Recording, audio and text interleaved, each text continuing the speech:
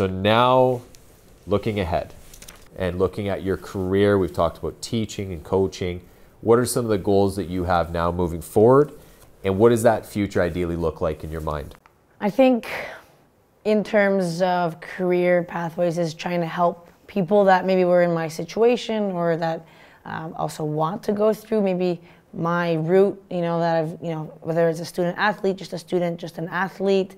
So it's just really transmitting what I've learned over the years and being able to give them kind of the opportunities and, and just maybe experience, share my experiences so that they can go and choose their own pathways and, and hopefully take in a bit of what I said and help them with uh, to be successful. So it's in teaching, it would be, you know, to like teach kids that maybe don't have as much opportunities, uh, resources, financial resources, uh, family support, um, and give them the tools that maybe are necessary for them to, you know, not be afraid to push past their boundaries and, and to go and, and be successful. And um, that also transmits the same thing in hockey as a coach and is to really, I think overall is to have uh, strong relationships and build relationships to you know to give people confidence that they they are worth something in life no matter where they come from and what they have and that they can also pursue their dreams and that was my next question if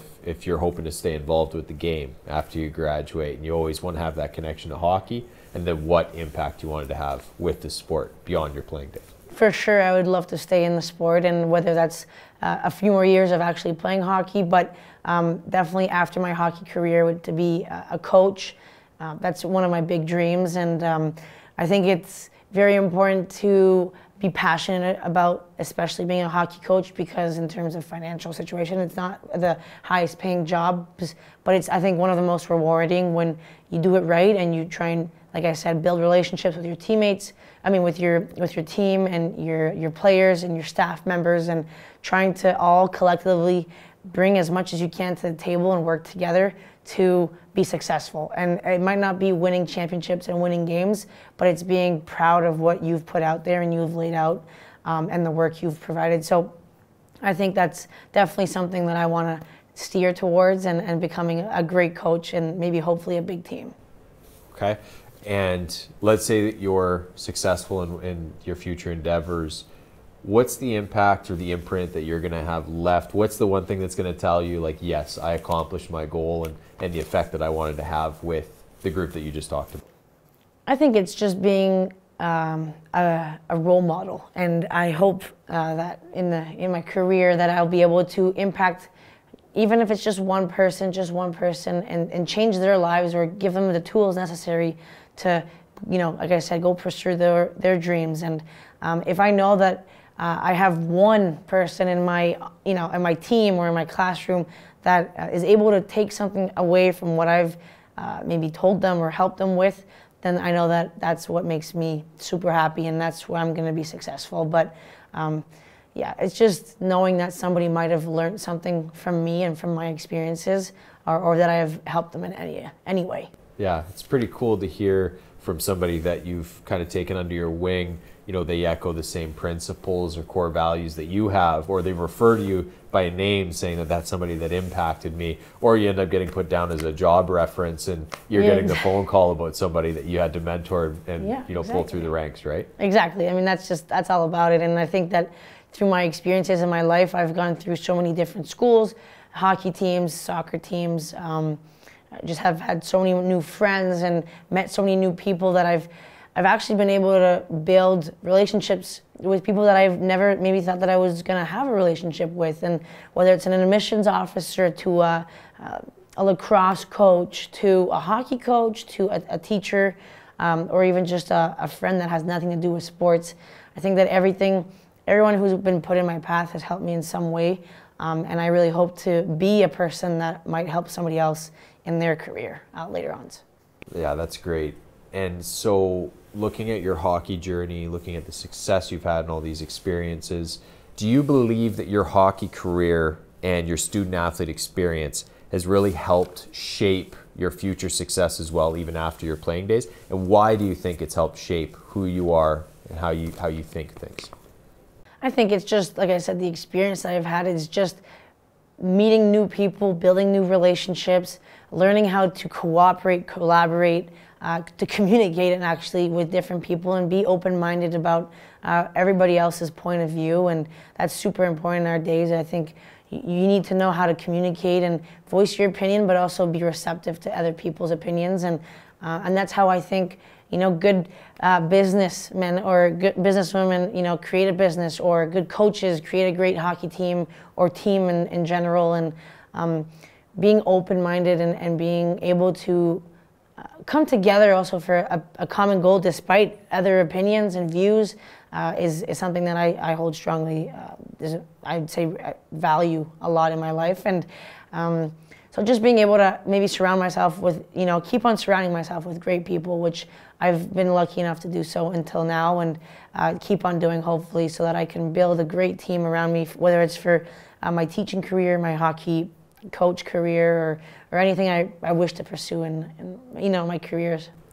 So I've had the the fortunate privilege of seeing the video clips of yourself playing when you were younger, hearing from your family all about you know young Kaleigh and, and yourself as you've kind of come up through the years. Kaleigh now versus Kaleigh at 16. Big difference, lots of growth, lots of progression. So how has your mindset changed? How have you evolved in that time? I think I knew when I was 16 years old, I knew I was um, a person who was very outgoing, bubbly, you know, always ready to help, ready to listen to others. And, um, but I didn't know where I could take that to and, and, and how I could maybe help others to a bigger level. But now that I'm 24, that I've gone through so much in that much time and I've had so many different experiences in different cultures with different people, I think that now I have more of a realization that I can really have an impact on people. And and that's maybe what I want to pursue in life is to do something with a purpose of helping others and and taking others to a different level in their lives and hopefully helping them you know like I said pursue their their their dream jobs or, or uh, accomplish great things in their athletics or academics or anything like that. So now I think it's just more of using what I am good at to something that is very deeply important to me is to helping others connecting passion with purpose, right? Exactly, exactly. Yeah. Couldn't be more right yeah, than that. It's a special thing, right? Exactly. So, are you the type of person that reflects back and says, "Hi, you know, I wish I had done this differently, or I wish I could have given myself that advice"? So, yourself, 24 versus Kaleigh at 16. Do you wish you could go back and tell 16-year-old Kaleigh something, and be like, "This is something you need to know"? Or are you somebody that goes, "My experiences have shaped me to this point. It's a good thing that it happened, and I'm just looking forward." I think that I definitely am a person that I'm really happy to be where I am at right today, and, and I would not change any of my experiences for anything else. But I do wish that I could go back in time and just tell my younger self that hey, if something does doesn't go as planned, that it's okay, and that there's going to be a solution. And uh, because I because of who I am, I know that I can find solutions, and because of people I have around me, uh, I know I'm you know well supported. So I think I would be able to just I would like to go back to myself uh, at 16 years old and say, hey, like, relax, calm down, take, take a few deep breaths, and it will be fine. Because sometimes I do get overwhelmed, and I do maybe not think right. Like I don't take my time to think about things and and then act upon them afterwards. So just to you know, a younger self, uh, maybe advice would be just to like, it's gonna be okay. Take a deep breath, and there's a solution no matter what. So, but otherwise, the experiences are definitely what I'm all about, and I'm very happy to be where I am at today. And I think that's something that's very common with hockey players and student athletes is they hear trust the process all the time. It's the most common coach saying ever. Yeah. Trust the process. and a lot of the time it's coach speak and the last thing I think any hockey player has is patience. Yeah. Because you look at the game, very fast, right? It's impactful. Mm-hmm. Things happen in a split second. You look at social media, everyone expects things to happen very quick. You exactly. post something, you don't get any likes, and the kids are like, well, do I take it down? Exactly. Right? So everything's so quick in how it happens, so they expect results fast. So sometimes the trust the process statement, it is important, and, and you have to actually believe it, right?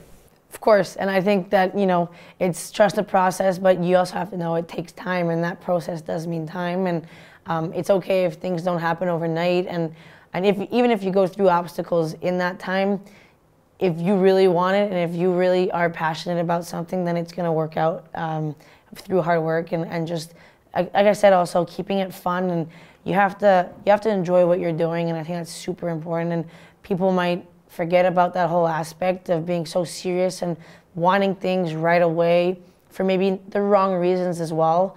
You need to know why you're doing things and why you're maybe wanting to become a student athlete, why you want to become a professional hockey player or, you know, a teacher or a coach. So just knowing it, you said, you know, connecting passion with purpose and and not getting stressed out that it's not going to happen overnight and I think you know a lot of there's different examples. It doesn't mean that you're you know an NHL player that you're uh, drafted in the tenth round that you're not going to be anybody. You know there's proof, um, and there's so many guys in the NHL who went undrafted or who drafted in the later rounds, but now are making a huge impact for their teams. So it's just staying deeply you know passionate about what you do and knowing why you're doing it. And like I said, great things happen to great people. So that's that's about it. Yeah, I, I love that and I, I think that's something that hockey players have to have to remember in the process is that there will be obstacles, there will be hurdles, but you know if you have the right mindset, you put in the work, you set goals for yourself. Usually, good things are going to happen one way or another. So I love that. Let's talk about you know your teaching passion, but let's let's segue a little bit to another dream job of yours. What would that be if, if it doesn't end up being teaching or coaching? What would be a dream job of yours?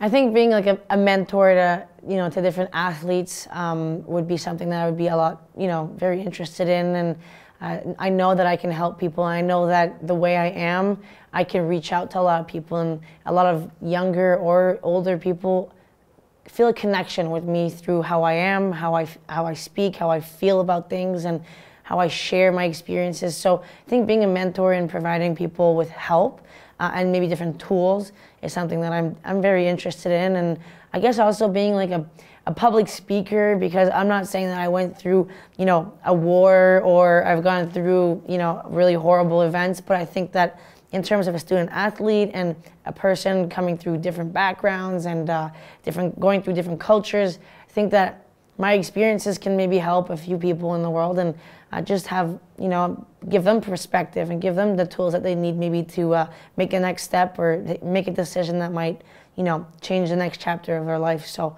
uh, definitely being a mentor and, and a public speaker would be kind of cool yeah, and I mean we've seen everything going on in today's day and age between you know the current situation with Ukraine and then COVID. Uh, I think the world needs lots of positive, charismatic people that are sharing the uplifting stories and helping people through those obstacles. So can't can't really see anybody better than that uh, than yourself, right?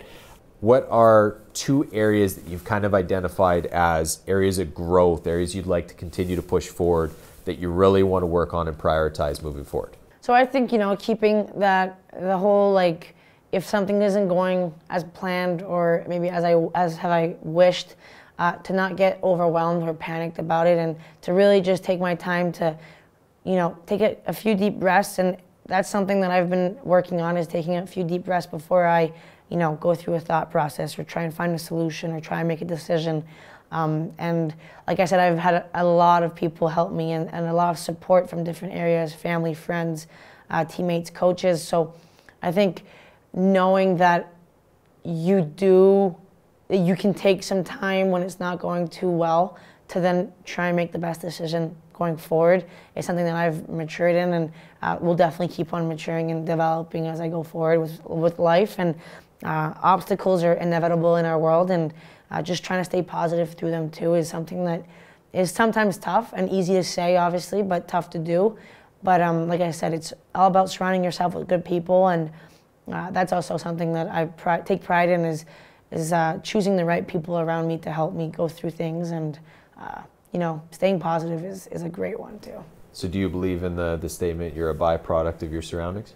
Yeah, I think so. It's a it's a pretty good uh, I think statement and uh, I do I do believe in that and that's also something that maybe unconsciously I've had going uh, since I've been younger and I've you know, I've always been very social and very outgoing, and I've made a lot of friends, and it's very easy for me to make friends. But the people that are closest to me are the ones that obviously help me the most, and I think that those are the ones that I know that are really there at all times for me. So, uh, yeah.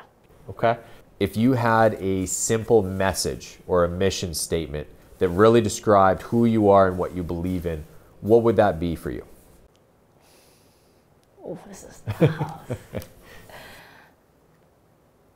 I think that what defines me is, you know, there's a lot of a lot of obstacles, a lot of different situations that have arisen, uh, that have risen sorry, in, in my life, but sticking to it and pushing through because I wanted to and because I was having fun doing so is something that I take pride in. And uh, I never quit, I never backed down in front of something that what maybe originally thought was impossible or not fun to do.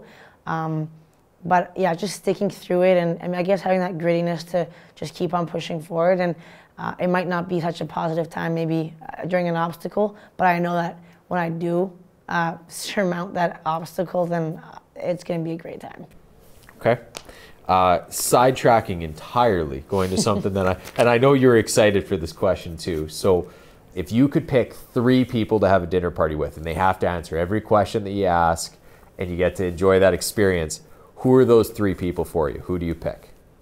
I think I'd have Adele because I uh, currently am a big fan of her and I always loved her music, but I've uh, watched the documentary about her new uh, album and she's just a great person, so chatty, very British, good sense of humor. Have um, you seen the comedy special where she's with James Corden in yes, the vehicle? Yes. Yeah, doing karaoke. Karaoke. I mean, oh, just man. absolute like laughter.